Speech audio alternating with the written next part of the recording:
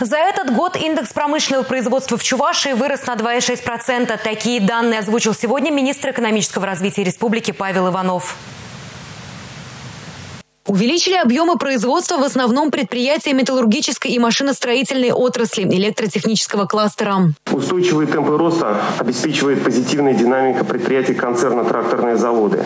Для реализации производственных планов на предприятиях активно ведется набор персонала. С 1 января 2019 года прирост численности работников составил 708 человек.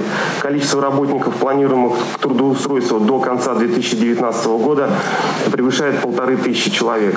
Общий уровень безработицы сейчас составляет 4,8%. Через центры занятости пробуют трудоустроиться 4,5 тысяч человек. Глава республики Михаил Игнатьев отметил, особое внимание необходимо уделять повышению доходов населения и вопросам трудоустройства, в особенности людей предпенсионного возраста.